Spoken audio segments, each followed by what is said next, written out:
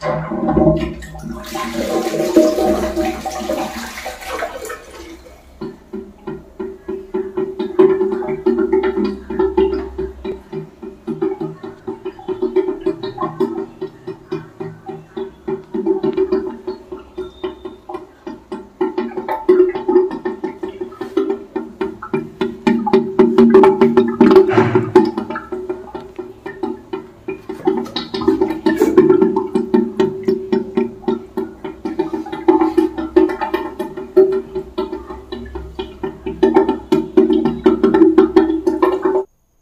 नमस्कार दोस्तों, मैं सोनू और आप देख रहे हैं टेक्निकल सोनोटेक चैनल इस वीडियो में ओडिशा पेन इंस्टॉल करना सिखाऊँगा। ओडिशा पेन का मतलब इंडियन सादा सीट यहाँ पे इंस्टॉल करना सिखाऊँगा। कौन सी जो गलती है वो आपको नहीं करनी है बिल्कुल भी नहीं करनी है। ज़रा सा भी यहाँ पे लीकेज आएगा ना तो फिर सीलन आएगा। कस्टमर कंप्लेन करेंगे। अभी ये जो सीट है, इसको ग्राउंड फ्लोर पे इंस्टॉल कर रहा हूँ मैं। सबसे ज़्यादा जो बारीकी से जांचने वाला होता है, वो होता है कि जब आप इसको रूप पे लगा रहे हो, यानी कि फ़र्स्ट फ्लोर पे, सेकेंड फ्लोर पे, थर्ड फ्लोर पर तो वहाँ पर सबसे विशेष ध्यान देना होता है लीकेज का, क्योंकि अगर छत के ऊपर लीक करेगा तो जो है उसका लीकेज जो आपके पूरे वाल में आएगा, फैलेगा, ज़्यादा लीकेज होगा तो सीलिंग से नीचे पानी टपकेगा। आज मैं आपको पूरी कंप्लीट जानकारी जा रहा हूँ देने, ये ओडिशा पेन को इंस्टॉल कैसे करेंगे, उसके बारे में। देखिए पॉइंट मेरा यहाँ पे आप देख रहे हैं। अब यहाँ पे मैं आपको जा रहा हूँ बताने कि इसको जो है साइड वाले वाल से कितना रखना है बैक साइड से पीछे वाले वाल से इसको कितना रखना है। मेरा जो सीट यहाँ पे लगने वाला है, वो मेट्रोपोल के साथ में लगने वाला है। ऊपर देखिए, यहाँ पे मेट्रोपोल लगा हुआ है। और इसके बारे में भी देखिए, थोड़ा सा मैं आपको बता दूँ अदरवाइज़ प्रॉब्लम आएगा। अगर गलत तरीके से लगाएँगे तो सीट में जो है कस्टमर अक्सर कंप्लेन करते हैं। मेरे पास बहुत सारा वीडियो उन्होंने भेजा हुआ है और प्रॉब्लम भी बताया हुआ है कि जब हम फ्लश करते हैं फ्लश करने के बाद जब लगभग पानी ये गिर जाता है, उसके बाद सीट में डब डब डब डब करके आवाज़ आता है। वो क्यों आता है?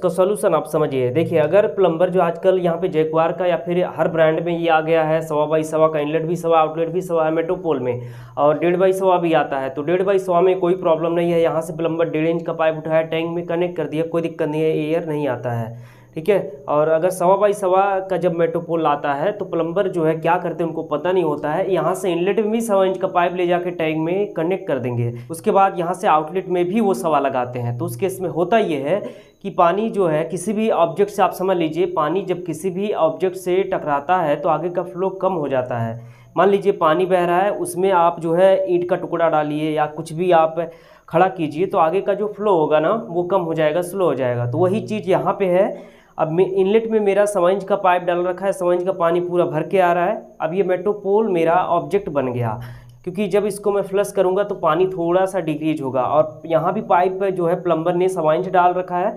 तो उस केस में होगा ये कि यहाँ पे तो सवाइंच का पानी पूरा आ रहा है, लेकिन यहाँ पे थोड़ा सा कम हो जाएगा और यहाँ पे आउटलेट में जब पानी का फ्लो थोड़ा सा कम हुआ तो एयर आ जाएगा तुरंत। पानी जब कम हुआ, पाइप के बीच में पानी कम हुआ तो एयर आया।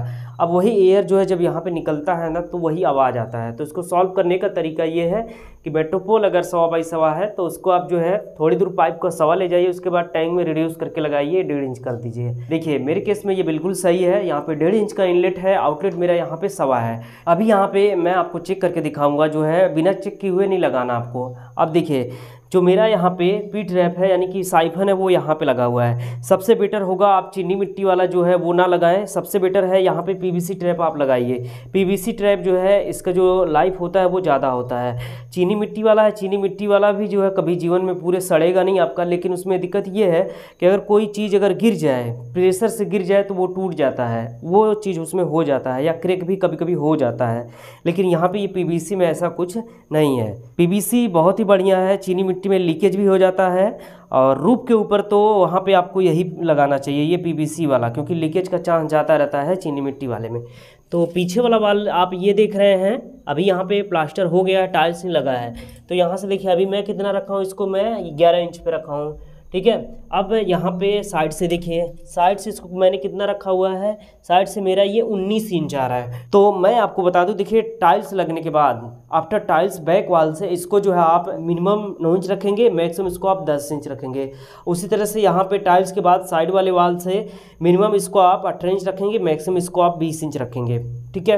इस तरह से यहाँ पे आपको पॉइंट बनाना है, चाहे ये ओडिशा पेन के लिए हो या फिर चाहे कमोड के लिए हो। सीट को इंस्टॉल करने से पहले, सबसे पहले यहाँ पे ये जो साइफन है, इसको फिक्स करना होगा आपको। यहाँ पे अगर ये पीवीसी ट्रैप लग रहा है तो ज़्यादा कुछ इश्यू नहीं है। पाइप फिटिंग के साथ भी सीट को आप फिक्स कर सकते हैं, क्योंकि सीट इसके अंदर घुस जाएगा। लेकिन अगर चीनी मिट्टी वाला होता है तो चीनी मिट्टी वाला जो है, उसको आपको पहले ही, एक दिन पहले ही यहाँ पे सीमेंट से उसको फिक्स करके छोड़ना पड़ता है, ताकि जो है वो फिक्स हो जाए अच्छी तरह से, उसके बाद ही सीट को रख के लीकेज को चेक करके फिक्स किया जाता है। बहुत ही गंदे तरीके से लगाते हैं, गलत तरीके से लगाते हैं। बहुत सारे प्लम्बर को मैंने देखा है सीट को फिक्स करते हुए चीनी मिट्टी वाले ट्रैप के साथ में तो वो क्या करते हैं? साइफन को फिक्स किया, मसाला लगा के थोड़ा सा, उसके बाद उसके ऊपर सीट को रख दिया, साइड साइड से ग्राउंडिंग कर दिया, सीमेंट से, उसके बाद हो गया उनका काम और वही जो है लीक कर जाता है। वीडियो भी मैंने दिया हुआ है लीकेज का। तो सही तरीका ये है जो मैं आपको जा रहा हूँ बताने। पीछे वाले वाल से कितना रखना है, साइड वाले वाल से कितना रखना है, सब कुछ मैंने आपको बताया। अब देखिए, यहाँ पर मेट्रोपोल के साथ में मेरा लगेगा तो यहाँ पे ये वाशर लगाना है फ्लशिंग के लिए। देखिए, ये वाशर जो है यहाँ पे फिट होना चाहिए प्रॉपर। ज़्यादा लूज हो तो आप चेंज करेंगे। ठीक है? और अगर ज़्यादा टाइट हो तो भी आप चेंज करेंगे। कुल मिला के लीकेज नहीं होना चाहिए पानी।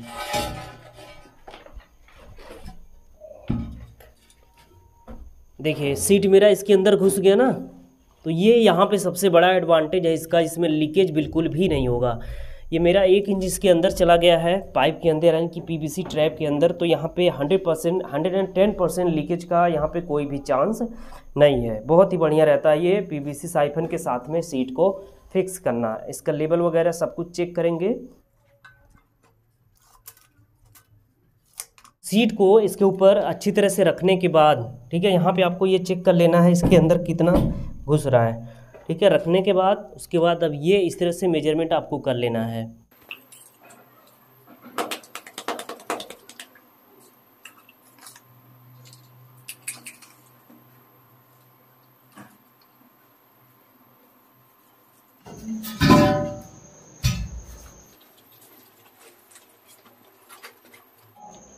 देखिए, ये लूज पड़ रहा है यहाँ पे। इसलिए यहाँ पे ये सॉकेट दिया मैं। सॉकेट आपको लगा देना है। सॉकेट पे ये प्रॉपर अच्छी तरह से सेट हो जाएगा, पूरा टाइट आएगा।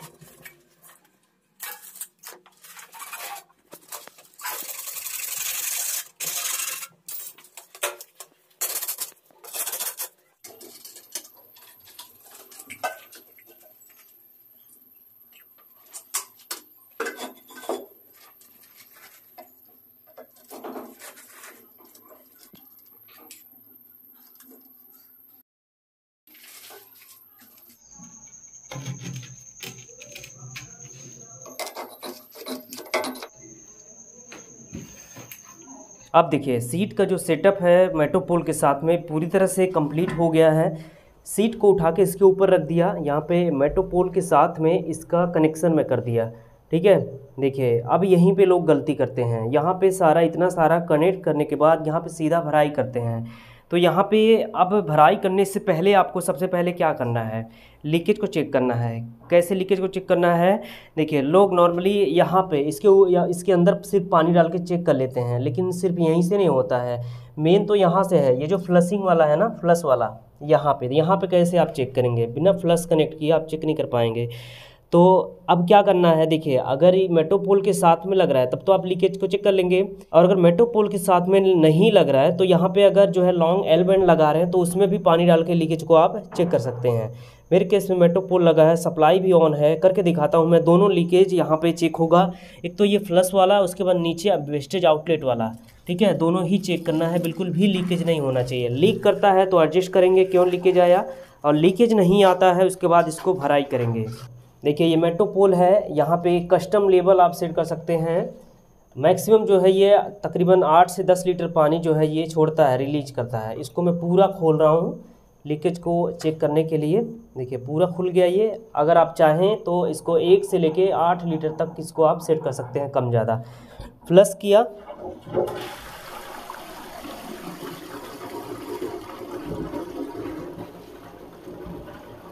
फ्लश किया हूँ, प्रेस करके रखा है मैंने। देखिए, प्रेस करके रखा है और लीकेज यहाँ पे बिल्कुल भी नहीं है। देख रहे हैं ना, कहीं भी बिल्कुल भी रिसाव नहीं है। इस तरह से काम होता है, देखिए। देखिए, यहाँ पे बिल्कुल भी लीकेज नहीं है। चारों साइड से घुमा घुमा के देख लेना है। कहीं भी लीकेज नहीं है मेरा। मेन तो ये है फ्लश वाला। देखिए, लीकेज यहाँ पे नहीं है मेरे केस में।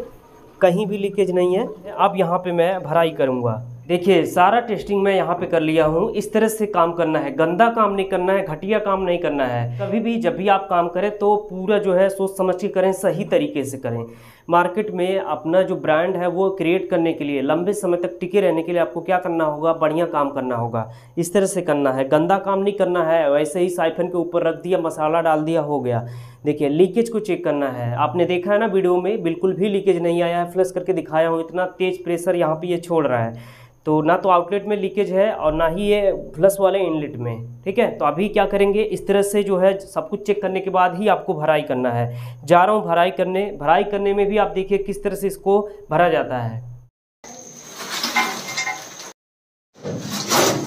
ये देखिए, अभी यहाँ पे भराई कर रहे हैं ये लोग। और भराई करते समय स्पीड लेवल जो है आपको लेके चलना है। स्पीड लेवल आपको निकाल लेना है। सीट जो है अप डाउन नहीं होना चाहिए।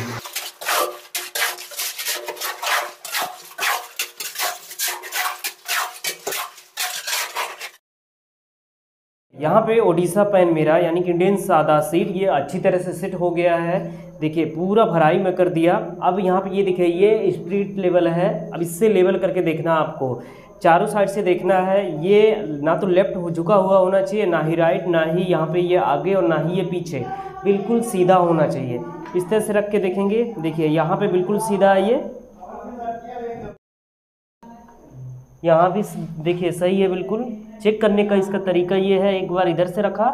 अभी पलट देंगे इस तरह से। देखिए, बिल्कुल सही है। देखिए, बिल्कुल सही है। सब मिला के यहाँ पे देखिए, इस तरह से लेबल आपको करना है। सीट जो है प्रॉपर अच्छी तरह से फिक्स हो गया है। उसके बाद देखिए, हाइट वगैरह का प्रॉपर आपको ध्यान रखना है, टैप वगैरह का। देखिए, वहाँ पे वो जो टैप दिख रहा है ना, टब में पानी भर के फ्रेश होने के लिए, उसका जो मिनिमम हाइट है, टाइल्स वाले सर्फेस से उसको आप मिनिमम चौदह इंच रखेंगे मैक्सिमम इसको आप सोलह इंच रखेंगे। कम से कम चौदह मैक्सिमम सोलह। उसके बाद ये जो मेट्रोपोल दिख रहा है, देखिए मेट्रोपोल प्लस वाल ये जो दिख रहा है, इसका जो मिनिमम हाइट है, यहाँ से टाइल्स वाले सरफेस से इसको आप 40 इंच रखेंगे मैक्सिमम 42 इंच रखेंगे। ठीक है? इस तरह से यहाँ पे आपको इंडियन सादा सीट को फिक्स करना है। तो हमें उम्मीद है मेरे दोस्तों, ये वीडियो आपको पसंद आया होगा। और उम्मीद करता हूँ, जो कुछ भी आज मैंने आपको एक्सप्लेन किया है, वो सब आपकी समझ में आया होगा। कहीं भी कोई भी कन्फ्यूज़न है तो आप नीचे कमेंट सेक्शन में अपना क्वेश्चन टाइप कीजिए। कोशिश करूँगा उसका 100 परसेंट रिप्लाई करने की। और दोस्तों, आप लोग वीडियो को भी ज़रूर लाइक कीजिए। मैंने देखा अक्सर जो है वीडियो को आप लोग लाइक करना भूल जाते हैं तो ज़रूर लाइक करिए। लाइक करने के साथ साथ चैनल को भी सब्सक्राइब कीजिए बेल आइकन को प्रेस कीजिए ऑल पे क्लिक कीजिए ताकि मेरी सभी वीडियो का नोटिफिकेशन आप तक पहुँचे और आपसे कोई भी अपडेट मिस होने पाए। मेरे दोस्तों, इस वीडियो को अगर आप यूट्यूब पे देख रहे हैं, चैनल को सब्सक्राइब कीजिए फेसबुक पेज पे देख रहे हैं पेज को ज़रूर फॉलो कीजिए। बस दोस्तों, इस वीडियो में इतना ही। मिलता हूँ फिर किसी अगले वीडियो में नया के साथ।